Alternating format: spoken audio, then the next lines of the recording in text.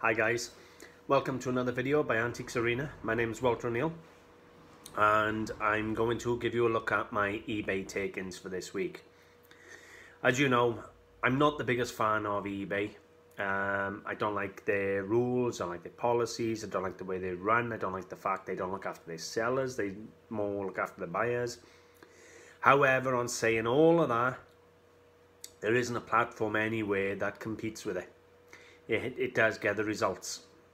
So, despite that, we have to swallow our pride and sometimes we have to use it. Now, as I've told you, um, I've reduced the selling price in the shop to a more affordable level. Not some, it's, I have had people say, is it because I show people what I pay for the items? And no, it's not. It, I'm not exactly coming or living in a very wealthy area. A lot of the people in the area I live are single mothers or people who are not in work, on benefits. There are a lot of people with money, don't get me wrong, but there's an awful lot of people who are not that well off. Um, so in the area I'm living in, um, in the in the valleys, then I have to drop the average price per item. Now that leaves me with the problem then of selling my dearer pieces. So um, I have been using a website. Um, well, I've tried a dozen different websites uh, over the years, and honest, none of them have really given me the results I want. Um, so I transferred to Shopify, which is an e-commerce website, and I'm still not getting the results I want. You know, I'm just not getting the sales I want. And it's not the items or the price or my descriptions because I'm putting them on eBay and they're selling on eBay. The only downside with eBay is I don't like eBay's fees and everything else, as I've already said. So what I'm going to do now is I've been back on for seven days, literally uh, seven days exactly, uh, bar for about an hour ago. Um, so I'm seven days and one hour, if you want to be exact. Now, in that time, I have listed on Buy It Now and on auction. I currently have 135 Buy It Now items um, with a fixed price of £13,430 for the 135 items. I have also sold quite a bit. Now I'm going to give you a look at what I've sold and then we're going to look at how much I owe eBay for them sales. So bear with me. So this is saying I have sold 30 pieces in uh, the, since I've been back on in seven days and I have an average of, well, I have a 1,368.97. That isn't quite exact because I'll explain now, that is minus, that is 1,368 plus I have another 900 and odd pound to go on top and I'll explain to you why in a minute. But what I'm going to do, I'm going to come down now and um, just show you the bits that I've gone through. So obviously you've seen the video now with all the mining memorabilia. That all went through and finished this morning. Um, 70 pounds, 25s. The mining checks, you know, they had an average, I think, when you you added them up and divided. Uh, sorry, so I'm not 100% where we were, so I'm going to skip over all the mining stuff now. Because um, obviously, that you've seen that in another video anyway. And the average price for the mining, I think, finished up at about £20 a piece by the time you added it all in together. So I'm going to look at now, um, next piece here was a little, well it weren't little, it was uh, a good 10 inches square hand carved Buddha, probably mid 20th century. I managed to achieve 85 for that. Um, a Baccarat crystal squirrel, I got 20. This was interesting. I've had this in the shop for two months, something like that. Um, you saw me buy her out of Abergavenny. I only paid something like a tenner in Abergavenny for it. And I had her in the shop and no interest whatsoever. I put it online, it sold the same day, £125. There's the Breitling. Now, I said to you the sales total wasn't right. Basically, what's happened, I sold it for £905. I sold within 10 minutes. Now, I wasn't going to sell my watch, but I'll talk to you about that at the end. I've decided I'm going to buy a building. I don't want to keep renting at the end of this year. As you can see, it's refunded. Now the reason is um, I haven't shipped it yet. I've still got it, still got it here. Um, basically, a gentleman from overseas has bought it from Hungary, and I've refused to ship it overseas and he's going to provide me with a UK billing address or shipping address. Um, however, when he made the payment, it was to, on his checkout was the Hungary address and to be uh, protected under the PayPal protection, it has to have go to the registered address. So he's got to reissue me the payment with a UK address for shipping through PayPal to protect me. So is it £900 to add on to my total. Um, Lladró Dolphin, £30. Pair of brass David Copperfield figures, 17 A nice Georgian rinser. 1790, 1810, somewhere around by there. Um, real nice, beautiful cut crystal, Georgian, Irish Georgian glass. And I achieved £40 for that. Set of Crown Ducal plates, 25 um, a Royal Doulton uh, vase, £30. Again, another one. Iona Silver. I've had this bracelet in the shop for about three three weeks. At the full £55, I put it on eBay for £55. It sold in 10 minutes. Uh, Cardiff City Crested Way Trophy, £62. Then we come into some dearer pieces. Some Beswick graduated seagulls, 130 The Metamorphic High Chair you saw me buy uh, back about six months ago. Um, I put it in the office, didn't do much with it. I had 85 for that. 75 for the lamp and 155 for three mixed Beswick birds. Um, so my total for the seven days, guys, um, you have to add on the 900 because it's been deducted off. So it's 2,200 and something for seven days of sales. When you put it like that, it actually sounds really, really good. Um, you know, it sounds, oh my God, what a lot of money, um, and so on. However, let me go see now. How do I find my account? It's been a while since I've used this. Let's go to accounts. And I'm going to see whether or not we can find out how much now it cost me to make this money. Now I know it cost me £43 to be paid by PayPal for that £911. Um, summary shop promotion.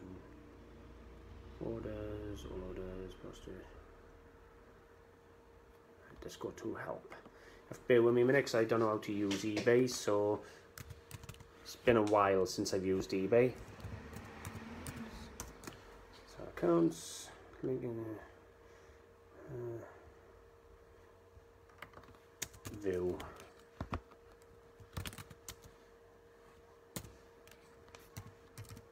there we go. Let's have a look what that says. How to view and download your invoice. Right invoices I want. Let's see how we do it. Oh right. Printer friendly version. Let's see what it says. Bear with me. Let's swap it over. Right, I gotta view my invoice, so bear with me a second, guys. I don't know what to do anymore. Sign into your account on ebay.co.uk. Yeah, we done that. Yes, yes, and yes. click My eBay at the top yes, of your page. that. From My eBay, place your pointer over the account tab. That's not good because that's not what I got anymore. That is so old. They've updated the software now, look. That's the old version. If I go to my eBay, this is my eBay. Where's my accounts? Marketing, preference, performance, rather, growth.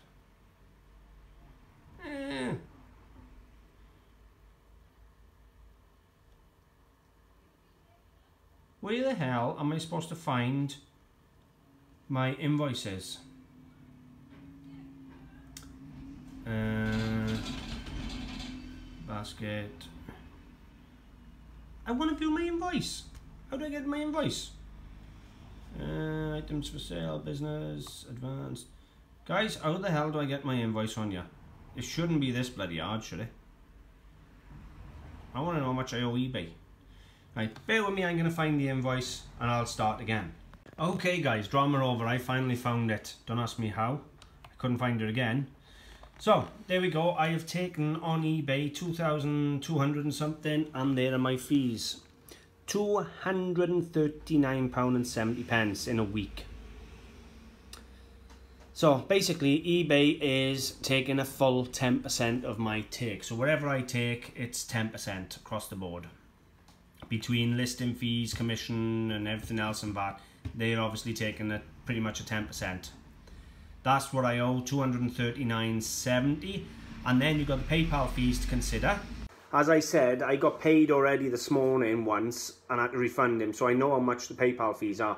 He paid me £911 for the watch and the PayPal took £43 to the point I'm saying to him, well, send me a bloody bank transfer instead. Because he's struggling on changing the address on checkout.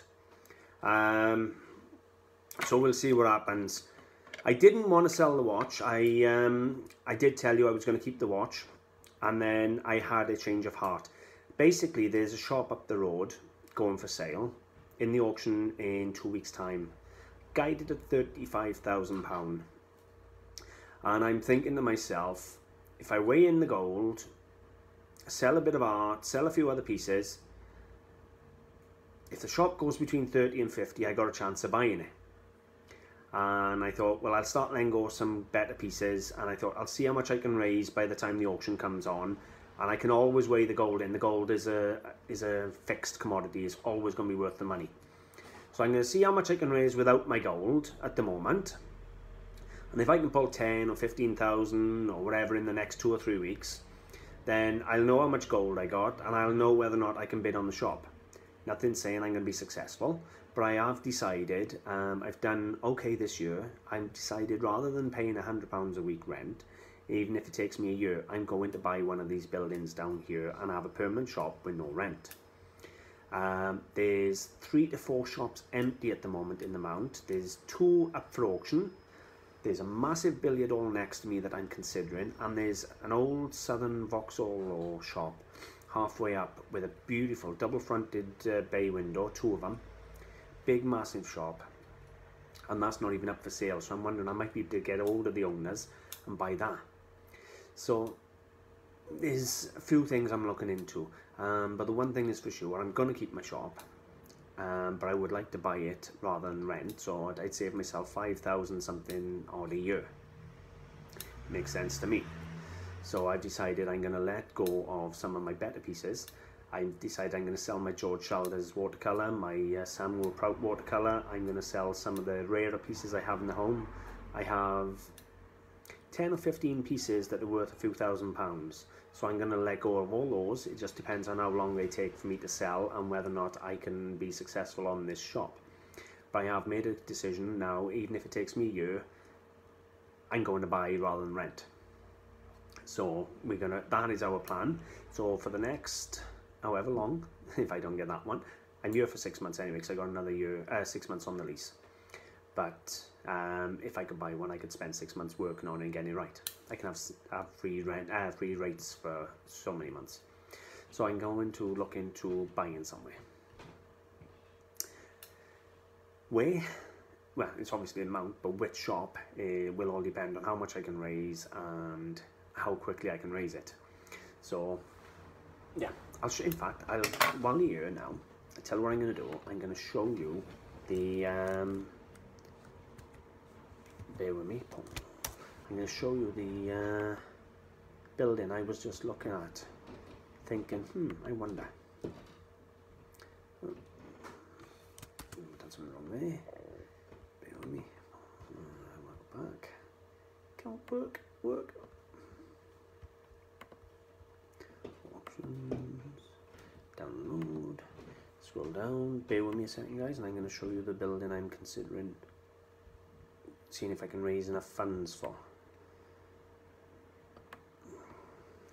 Right, let me turn around. Now this is the building here. This one here is going up for sale in public auction and it's guided at 35,000. Now you have the optical centre here, you have, that's the shop, then you have a supermarket, have the bus stop right outside and you have a Greggs either side. I'm not sure which side it is, but you have a Greggs as well. So it's quite a busy little part of the town. And it comes with parking. You can see, hang on, bear with me. Perfect for filling with cabinets. No work needed. Just decorate, carpet, cabinets, done. parking around the back and unloading, unloading. And it's um, decent size. 111 square, 112 square meters in total. So that's what I'm considering at the moment, guys. Now, I didn't find out this was up for auction until literally two or three days ago. And I've got 10 days to raise between 30 and 50,000. So the likelihood is I'm not going to do it, but there's no guarantee that I'll sell in uh, this auction. It might go unsold, not re reserve, and be sold again in another auction at a later date. Or it may sell, and then the other one may go up for sale. There's a few property in Mount, so what I've decided to do anyway, I'm going to let some of my dear pieces go, and I'm going to invest and buy a building. um, to be honest with you, buy a building, save stock, it's the same thing, it's still investment. Um, the only difference is I can work out of it for free because Mountain Ash is rate free if the shop's in use. So no rates, no mortgage or rent, just sit in there and make my little, make myself at home, make my little shop my uh, happy place. So that's my plan. So I'm letting go some of the pieces, hence the watch went. Now I only put that watch on, I put it on for a thousand pound and within 10 minutes I had an offer, well, four offers, but the best offer was 900 pounds which I took. Um, and then when I found out he was overseas I declined and he came back and said 905 and said I'm actually, I can give you a UK shipping address and that's why I took it. But when he paid, he, he, the wrong address came up on checkout, so I'm waiting for him to redo it. So there's the first thousand in. Plus, not to mention, I've already taken a thousand. Well, I've done 2,200 in this week. But at that rate, that's not enough to make 30,000. So, um, I'll be letting go of some really nice pieces. I'm going to see how much I can raise in the near future and see how we go. Obviously, if I buy a shop, you'll uh, you'll be the first to see it and see the work that gets done on it. But that's uh, a review of my eBay, guys. Not bad for my first week back. 2,300 if you like, rounded up. Uh, not bad for a week's work. So, yeah. no, I still don't like eBay.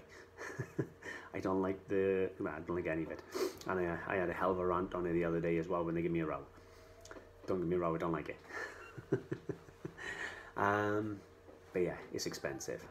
10% to eBay, another 5% to PayPal, so it's 15% gone out of whatever I take before you start.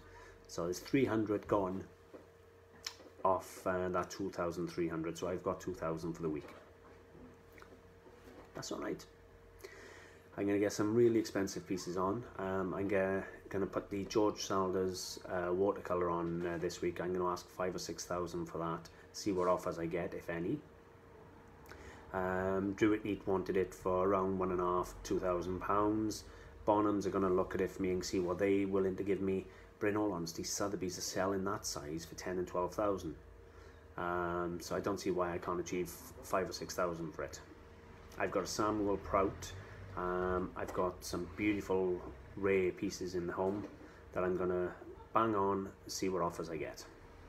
And if I don't get the shop, then I got some nice chunk of change behind me to buy gold. So either way, it's a win-win. So anyway, guys, that's my review of eBay done.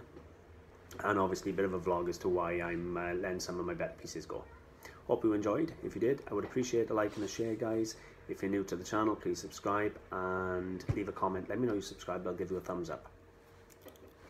Um, you find me on eBay. I have an um, eBay page at the moment, Antiques Arena Clearance. You'll find me on Facebook. I have uh, a page on a group, Antiques Arena. I have my own website, antiquesarena.co.uk or antiquesarena.com.